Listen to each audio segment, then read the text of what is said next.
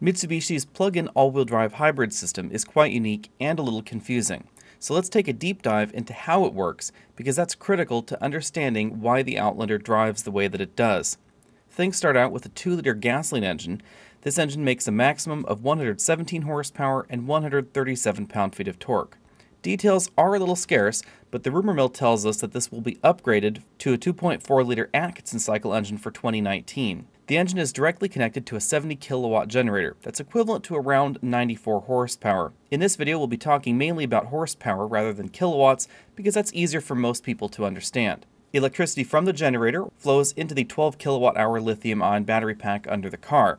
To move the car forward, Mitsubishi uses two independent electric motors. Both motors are rated at 80 horsepower, but the torque rating is actually a little bit different, with the rear motor making about 30% more torque than the front. The Outlander can power one or both motors from the battery alone, up to about 60 kilowatts total or 80 horsepower maximum. If more than 80 horsepower is called upon, the engine will start, the generator then generates power and sends it along to the front and rear traction motors. At this point, you're no doubt thinking, didn't Mitsubishi say the system was good for 197 horsepower total? How do you get 197 from two 80 horsepower motors? This is where things get a little bit more complicated to explain. Inside the housing, where we find the generator and the front electric motor, is also a clutch.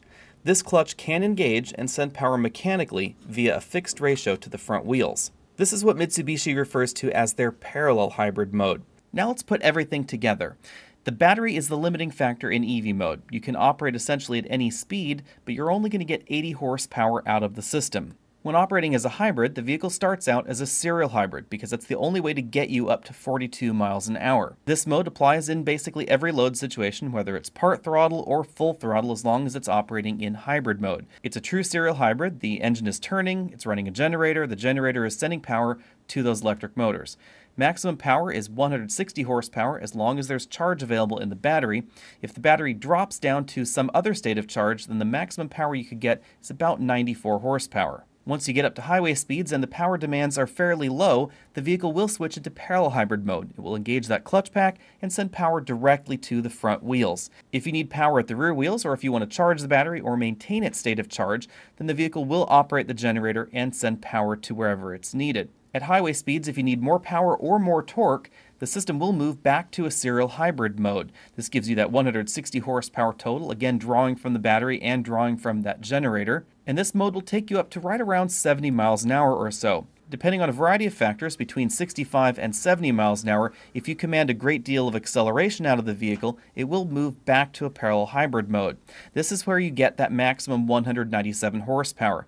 However, it ramps up slowly. At around 65 miles an hour or so, the system can deliver about 160 horsepower total, and then as you move on up to about 90 miles an hour, that's when you hit the peak of 197 horsepower. That means that many people in America may never actually see 197 horsepower out of their Outlander hybrid, because in truth, there are very few areas in the United States where it's legal to actually get the full horsepower out of this hybrid system. Because of the fixed ratio between the engine and the front wheels, as you accelerate, there would be a point in time where the vehicle would have to move back to a serial hybrid mode in order to prevent over-revving the engine.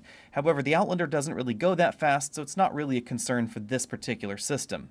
And there you have it. That's our complete look at Mitsubishi's plug-in hybrid system in the all-new Outlander plug-in hybrid. Be sure to check out our Facebook page at facebook.com slash alexonautos. You can also head over to patreon.com and support this channel. I'll see you next week.